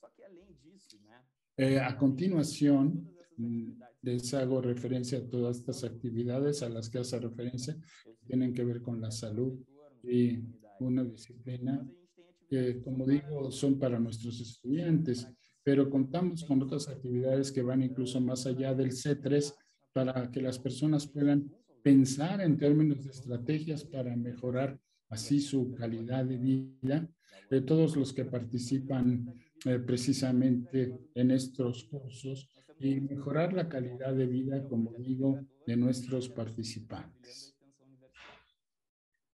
Contamos con dos distintos proyectos para uno de integración y otro que llamamos caminos, pathways. Este se desarrolla durante el primer año y se trata de un proyecto para el desarrollo social y la promoción de la salud que va incluso más allá, como digo, de la audiencia presente en el C3. Eh, los cursos se subdividen en distintos grupos que trabajan en actividades eh, para adultos de edad avanzada y también fuera del C3 mismo. Consideran su experiencia anterior, los conceptos que han aprendido y la integración de su conocimiento. ¿Cómo trabajamos en este proyecto? Bueno, pues comienza haciendo un examen de la realidad. Los estudiantes examinan su propia realidad, ven lo que acontece en torno a ellos, donde viven con sus familiares y a continuación identifican posibles problemas. Eh, y entonces seleccionan un tema en particular que les es de mayor interés y consideran entonces para ver si es posible proponer algún tipo de acciones o de medidas. Esto también se eh, trabaja junto con los profesores. Algunas cosas requieren de hacer modificaciones en la legislación, pero tratamos siempre de pensar en algo que pueda hacer el grupo para ser más eficiente. Así se van elaborando hipótesis para cada uno de estos temas que han planteado y van eh, generando preguntas relacionadas con su aprendizaje y van preparando así una propuesta de última instancia para acción dentro de ese terreno, dentro de ese ámbito de interés. Además de este primer proyecto que fuera creado que se llamamos proyecto Pathways o de los caminos del derrotero a seguir, tratamos de integrar actividades a nivel de la Universidad Católica y eh, de los educandos, un camino conducente a este extensión universitaria donde los educandos participan en las actividades universitarias. Así pues, nuestros alumnos de esta manera forman parte integrante de esos proyectos de extensión en diferentes áreas y tratamos así de integrarlas con este proyecto. Eh, durante muchos años sucedía que esto ah, venía ya siendo sumamente importante, pero era complicado. No es algo que se pudiera articular o conectar con otras actividades a nivel de la Universidad Católica. Pero desde que realizamos la reestructuración, lo que hemos venido tratando de hacer es incorporar a las sociedades y a la comunidad académica, eh, uniéndolas dentro de nuestras actividades. También contamos con lo que es una interacción intergeneracional. Además, tenemos a personas de diferentes áreas que forman parte integrante de estos proyectos. De los proyectos que se seleccionan para ser parte de esta propuesta eh, requieren de la participación de diferentes profesionistas para presentar su interacción. Consideramos también la relación con la comunidad académica y queremos así ampliar nuestros conocimientos, dando algo siempre a las comunidades. ¿Cómo trabajamos en estos proyectos a través de tres diferentes caminos. Trabajamos con los estudiantes, empezando a nivel remoto a la pandemia, y así hemos presentado en todos los proyectos de extensión que ya teníamos en la Universidad Católica. Y luego seleccionamos algunos de dichos proyectos para poder entonces hablar con los coordinadores a cargo que fueron invitados para que nos hablaran acerca de sus proyectos. Y sucede que cada uno de los estudiantes eh, pudo así trabajar. En ocasiones trabajaban por parejas o por pares y trabajaron en muchos proyectos durante un cierto tiempo. Después de varias reuniones, los alumnos empezaron a hablar de sus experiencias a nivel de los proyectos del caso y luego los discutíamos con ellos. Teníamos a personas provenientes de distintos proyectos que hablaban de su experiencia y conversaban con los demás acerca de su participación. Estudiantes que también cuentan con un asesor que es parte de nuestra función universitaria. ¿Cómo funciona todo esto? ¿Cómo es que organizamos las actividades? Pues, bueno, pues no queremos tener eh, lo que sería un programa, un currículo demasiado complicado o difícil. Contamos pues con actividades que se llevan a cabo de vez en cuando. Siempre hablamos de estos puntos hablamos de currículo, de los programas, cómo se llevan a cabo las actividades y con qué frecuencia se llevan a cabo. Todo esto se conversa con la audiencia, con el público. Lo hacemos regularmente así. Todos los viernes por la tarde tenemos eh, una reunión remota para un grupo que es un grupo abierto y ahí hacemos una evaluación, como digo, de las actividades, reestructurando lo que quiera que eh, se necesite. Eh, en la actualidad contamos, por ejemplo, con actividades los mm, miércoles por la tarde. Esto tiene que ver con el WAMI y son diversos tipos de actividades. Las del WAMI se llevan a cabo, como digo, los miércoles por la tarde y tratamos de que éstas se concentren en los proyectos que se realizan dentro del ámbito de los dos proyectos a los que se alusión anteriormente. Evaluamos ahí la participación de los alumnos y cómo se llevan a cabo las actividades. Venimos desarrollando estos dos proyectos y vamos integrando los proyectos con dos etapas. Primero, la preparación de la propuesta y la presentación del proyecto final. A lo largo del camino, eh, tenemos unas actualizaciones mensuales que tienen que ver con esta actividad. Lamento interrumpirle, pero eh, si es tan amable de terminar, porque ya nos estamos pasando del tiempo permitido. Bueno, no hay problema, sí, con mucho gusto para concluir. Eh, deseo mostrar a ustedes algunos de los proyectos que se llevaron a cabo el año pasado. Contamos con dos documentos que fueran generados eh, en ese entonces. Uno, ¿qué es lo que tiene la ciudad de Pelotas que ofrecerle a los adultos de edad avanzada para que puedan vivir mejor? Esto fue identificado por parte de nuestro grupo y luego se preparó. Hubo tres proyectos que tenían que ver con el caso. Y para concluir, tan solo me gustaría destacar algo que me parece de importancia en esta siguiente diapositiva. Todos los años tenemos un día multidisciplinario, una jornada multidisciplinaria eh, que se organiza precisamente dentro de la semana para los adultos de edad avanzada. Eh, y si les interesa, pueden ustedes dar seguimiento a través de nuestros medios sociales a la misma. Eh, contamos con el C3, como ven ustedes, eh, soleado UPEL, como ven ahí en la lámina, y ahí, ahí ven la referencia y el enlace en la pantalla.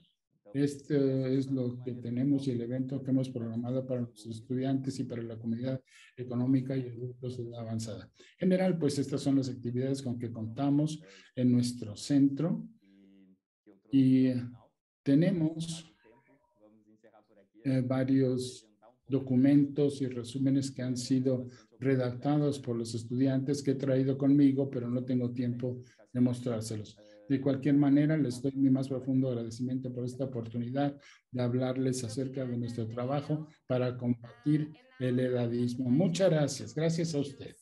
Uh, Mayoshi Moses, uh, for our last intervention to be presented about intergeneration activities. Ahora tengo el gran gusto de presentar a la señora Miyoshi Moses para hablarnos de experiencias intergeneracional. Muy buenos días a todos. Eh, tengo un gran placer de unirme a esta eh, reunión. Eh, nosotros hemos pensado que el abordaje del problema del edadismo es un paso crítico porque las personas hoy en día pueden vivir vidas más largas, sanas y más saludables. Entonces, por supuesto, ha habido muchas intervenciones intergeneracionales que pueden ayudar a terminar con el edadismo con el fin de reducir esta enorme carga económica y humana que se ejerce sobre las personas de edad. Nosotros en Experience Core somos una comunidad de un programa voluntario eh, que adiestra a las personas mayores de 50 para servir de tutores con el fin de ayudar a otras. Y en promedio tenemos más o menos 9.000 estudiantes y 2.300 voluntarios. Nuestros voluntarios trabajan en escuelas, en comunidades muy necesitadas y trabajan con niños desde kindergarten hasta el tercer grado en materia de lectura. Y por supuesto, este es un programa intergeneracional que ayuda en varios frentes. Primero, ayuda a los estudiantes a tener éxito, a crecer bien y establece vínculos intergeneracionales. Nuestro programa marca una verdadera diferencia. 65% de nuestros estudiantes han mejorado sus aptitudes de eh, lectura y escritura eh, por lo menos eh, medio grado o más. Y más de un tercio de ellos ya leen al nivel que se necesita para su grado. Más de ellos eh, también son personas o son niños que han vivido en niveles de pobrezas y que puede, donde puede haber mucha deserción escolar. Entonces, al ayudarles con la lectura se puede mejorar su éxito académico. Solamente no nos concentramos en la parte académica, sino que también esperamos promover el bienestar social y emocional de los niños y además ayudar a los niños a que se enfoquen personalmente en las sesiones de tutoría, porque esa es una parte muy importante del programa. Tal vez lo más importante para nuestro día de hoy sea que nuestros estudiantes demuestren empatía por otros, lo cual es un componente crítico para combatir el edadismo. Nuestros estudiantes se benefician mucho de la tutoría y es maravilloso ver que nuestros voluntarios de edad también adquieren mucha eh, satisfacción. Nuestros voluntarios hablan de cómo han podido construir una comunidad con sus tutores y realmente la señora Geta Seti, voluntaria de Buffalo, nos dice que los días, los dos días que sirvió de voluntario fueron los más felices de su semana porque trabajó no solamente con un grupo de tutores, sino que se formó como una pequeña familia para intercambiar ideas. Además de todos estos informes anecdóticos de nuestros grupos, eh, la investigación muestra que durante el primer año Nuestros voluntarios han establecido redes sociales más amplias, tienen menos eh, síntomas de depresión, están participando mucho en las actividades y tienen un gran deseo de contribuir al desarrollo de otros. Por supuesto, los tutores también mejoran su eh, comprensión intercultural y el cambio que se realiza en los estudiantes. Por ejemplo, un señor de edad eh, de raza blanca habló con mucho cariño de una niña pequeña, una niña de origen hispano, eh, con la cual eh, simplemente vieron un cine con el fin de entender su cultura. Y ahí se forjó un vínculo muy fuerte entre esa persona de edad y esa niña. Entonces, esta experiencia es un multiplicador porque así podemos trabajar en muchos lugares con muchos estudiantes y realmente el mundo de los estudiantes es muy valioso para promover la comprensión para ver cómo se forjan relaciones intergeneracionales y cómo podemos eh, mejorar la perspectiva de los niños al hacer su trabajo en casa. Los vínculos que forjan nuestros voluntarios con sus estudiantes a veces duran durante toda la vida, mucho más después de que se termina el programa. Por ejemplo, les digo que Robert Rouse, que es un eh, bombero ya jubilado, le enseñó a un niño de tercer grado en Washington y ese es un buen ejemplo porque el niño le gustaba mucho los libros que se llaman Los pájaros eh, furiosos, de Angry Birds en inglés, Los pájaros furiosos. Y el niño le gustaba mucho, estaba obsesionado con uno de los personajes. Y entonces, cada vez que el niño se presentaba allá, él traía uno de esos libros que le gustaban. Entonces, él se sentía muy emocionado de pensar que le iban a leer ese libro. Yo sé que tengo muchas otras historias de programas, eh, de tutores, y estoy segura de que el afecto que se desarrolla por los adultos mayores dura tanto como las historias y como todas estas eh, experiencias en las mentes de los jóvenes. Experience Core no es una estrategia contra el edadismo, pero el informe mundial de la OPS sobre el edadismo señala que muchas de estas características realmente pueden transformarse en lazos eficaces. Nuestro elemento eh, principal es la cercanía emocional de las personas durante la intervención. Entonces, eh, por ejemplo, las eh, eh, experiencias de los estudiantes son valiosas. El hecho de que nuestros tutores dediquen 15 horas a la semana durante el año escolar para ayudar a forjar estas relaciones es un gran beneficio. Otro elemento de este informe mundial sobre el edadismo es el énfasis que hace en las intervenciones eficaces para compartir metas, porque nuestros programas no solamente fijan metas específicas para leer con fluidez en el tercer grado, sino también metas para cada sesión semanal. En este informe también se ha descubierto que los informes, en los que las actividades semanales realizadas en pequeños grupos por adultos mayores y niños también dan mucho mejor resultado que cualquier otra actividad estructurada. Por supuesto, vemos una tutoría en pequeños grupos en que un niño eh, ayudó a, en que un tutor ayudó a tres niños eh, con un formato bien estructurado. Y eso también fue una intervención contra el edadismo. Las investigaciones nos muestran que debemos mostrarnos optimistas con estas intervenciones porque estas intervenciones contra el edadismo tienen éxito también en los estudiantes universitarios. En la Universidad de Rhode Island, algunos estudiantes les enseñaron también eh, aptitudes digitales a los adultos de edad mayor. Y también eso mejoró la percepción y las actitudes de los adultos mayores una vez que terminó el programa. Entonces se hicieron también programas de investigación, los estudiantes y las personas de edad y así eh, se superan eh, los conceptos erróneos sobre el edadismo.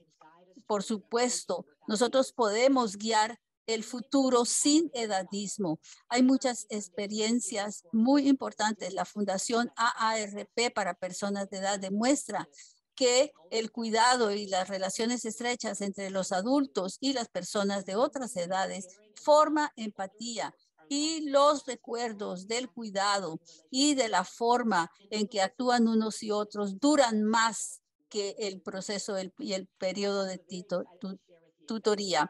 También me complace decirles que el programa Experience Core está preparando para crear un programa nacional virtual en el cual habrá modelos eh, eh, presentados personalmente, pero también en el futuro se podrá enseñar a los niños por el espacio virtual lo que necesiten y esto mejorará la comprensión intercultural e intergeneracional eh, de nuestro programa.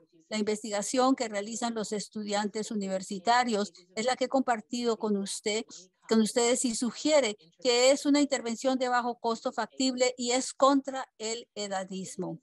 Se ha dicho que el prejuicio eh, se produce porque eh, hay ignorancia por parte de los niños. Pero la buena noticia es que al exponer a los niños y a los adultos jóvenes a los adultos de edad, de una manera intencional, existen buenas posibilidades de reducir todos estos estereotipos. Y con voluntad política, determinación y conocimiento, eso funciona y ha funcionado hasta hoy y yo creo que estamos de, por buen camino a lograrlo. Quisiera ahora dejarlos con un video que es de nuestro programa para que puedan ver de qué se trata. Yo me llamo Sky. Yo soy Carlos. Yo soy Penny. Dios, me encanta toda la ciencia. Yo quiero escribir un libro y yo quiero ayudarles a los niños a alcanzar sus metas yo quiero leer libros de ciencias y yo quiero escribirle cartas a mi abuelita y yo a mis amigos. Bueno, para mí, ser tutor de estos niños es ayudarles a revelar y a alcanzar sus sueños. Yo me siento tan bien de ayudarles a estos niños. Ustedes no tienen ni idea de cuánto los puedo ayudar. Los niños me dejan entrar a su propio mundo y es asombroso. Bueno, ¿cuál es mi sueño? Bueno, ayudar a toda la gente a llevar, a llegar a sus metas y contribuir a eso. Muchísimas gracias. Bueno, gracias a nuestros colegas que han estado en, el panel. les habla Enrique. Patricia tuvo un problema con su internet y está tratando de reincorporarse. Yo creo que han sido ejemplos muy importantes de cómo eh, la política de, de, participación